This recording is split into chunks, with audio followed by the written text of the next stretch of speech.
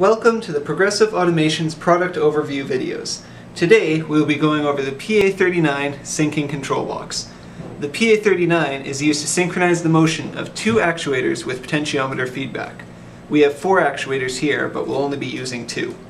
Normally, if you're trying to move two actuators off of a power supply and one has a higher load on it, it will slow down and the actuators will fall out of sequence. Using the PA39, actuators will always be adjusting their speeds so they travel together, regardless of individual load. The PA39 is specifically designed for actuators that have potentiometer feedback. There are three actuators that can be custom made with potentiometer feedback. The PA14, the PA16, and the PA17. Our PA14P, shown here, is our only in-stock model that comes with a built-in potentiometer.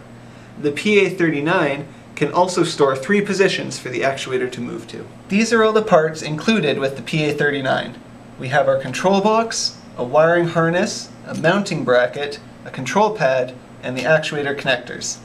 These connectors need to be soldered to the end of your actuator to simplify attachment. It'll change the end from this to this. See the user manual, page 4, for a wiring diagram. To wire everything together, first we attach the control pad and then plug it into the back of the PA39 and then we can attach the wiring harness to the front. And then we plug in the actuator.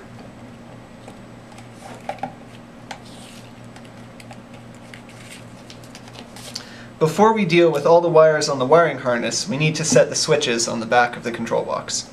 These switches are used to set up the PA39. This black switch chooses how many actuators you want to control. Moving it to one side controls one actuator, the center controls both, and the other side controls the other actuator. These red switches are used for the more advanced settings. See page 9 of the user manual. There's a link in the description down below. These switches all start in the off position. Switching them down turns them on.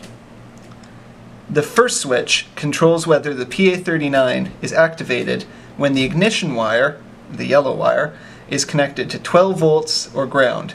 This is useful for when you're integrating the PA39 with a project in your car. When the switch is on, the PA39 works when the ignition has 12 volts, and when the switch is off, the PA39 works when the ignition is connected to ground. We're going to turn that one on for our example. The second switch controls whether the actuator moves when the ignition is cycled from 12 volts to ground. If the switch is on, then the actuators will move to position 1 when 12 volts is removed, and position 2 when 12 volts is reapplied. If the switch is off, then this feature is disabled. The third switch is used to set two-stage motion. The actuators can be set so that one moves first, and then the second one moves only when the first has arrived at its position. See the user manual for more details. When the switch is on, the feature is enabled. When the switch is off, it's disabled. The last switch is used to control retraction safety. This makes it so that the PA39 is monitoring the retraction speed of the actuators. If one actuator gets stuck, the PA39 will sense that it has stopped moving and stop both actuators to ensure safety. Turning the switch on enables this feature, turning it off disables it. Now that the switches are set and everything is plugged into the control box, the wiring harness can be finished. Here we have our ignition wire, the yellow one, and since we turned switch number one on, we want to connect it to the red wire, our 12 volts wire. So now we have our 12 volt wire and our ground, which we connect to our power supply.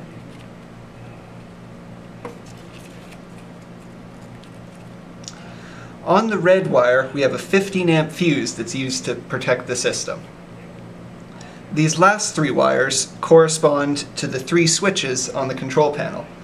They're used to trigger motion to the different positions instead of using the buttons, but we'll come back to them later. Once we're all done, we can turn on our power supply. Once power is applied, we can use the control pad to move the actuators. By pressing the middle button and one button, the actuators will extend. By pressing the middle button and the other button,